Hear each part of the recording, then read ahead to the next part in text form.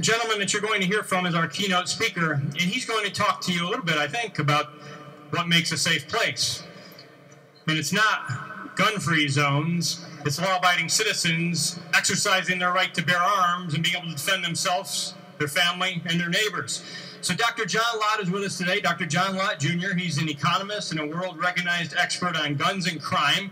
He's president of the Crime Prevention Research Center. He's written nine books, including More Guns, Less Crime, The Bias Against Guns, Freedom on It, uh, Freedom on It, Freedonomics. Tongue twister for me today. His most recent book is The War on Guns, and he holds a PhD in economics from UCLA. Dr. John Lott. Thank you for being here today, sir.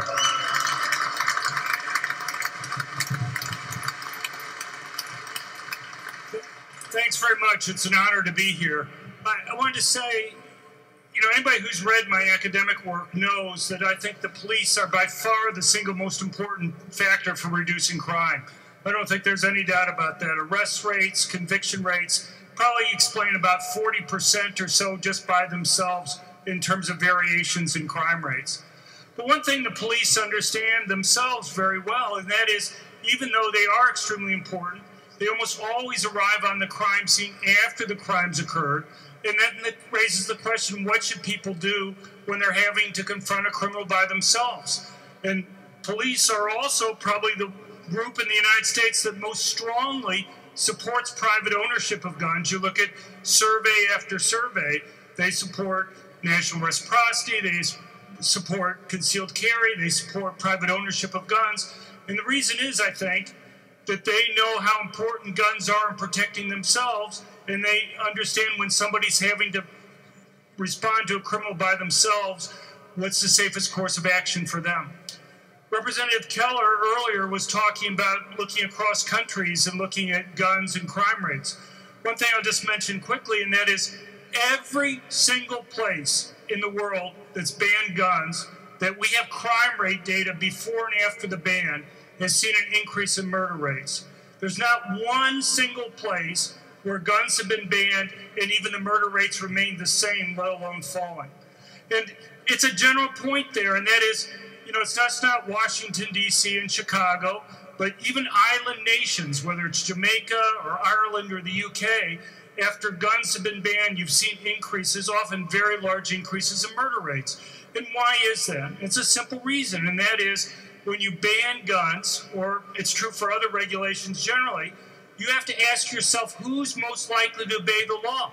And if the law is primarily obeyed by law abiding good citizens, not the criminals, so that you disarm law abiding citizens relative to the criminals, you actually make it easier for criminals to go and commit crimes than it would have been otherwise. They have less to worry about. Uh, I mainly wanted to talk about uh, Representative Ortitay's discussion earlier about the PIC system here. He, he mentioned some of the costs that were involved. It's just not the fee that you have to go and pay the state for processing, but you also have to go and pay the licensed dealers for going taking the time to go and conduct the background checks. In Pennsylvania right now, it's about twenty-five to forty dollars. Probably going to go from about thirty to fifty dollars if the state increases and their cost of doing the background checks go up. You know, the question is, who gets stopped by having a forty or fifty dollar essentially tax on a gun? Well, I would argue, according to my research, it's the people who most benefit from having a gun to go and protect themselves. Poor people who live in high crime urban areas. Uh, Shanine, you know, she has kids. She's a single mom. She lives in a relatively high crime area. She'd already faced just two armed robberies. Why should we impose, if she wanted to go and buy a $300 gun, why should we impose what could be a 13 or 15% tax on her ability to be able to go and get a gun for protection? Here's the bottom line as an economist, what I would say, and that is if you believe that background checks reduce crime, and I'm, I wish it was that easy, the thing is, who should pay for those costs? And as an economist, what I would say it should be the people who benefit from that action. The law abiding individual who's going to go out of their way to do a background check on a private transfer of a gun, they're not the criminals. They're not the ones that you have to go and worry about doing it.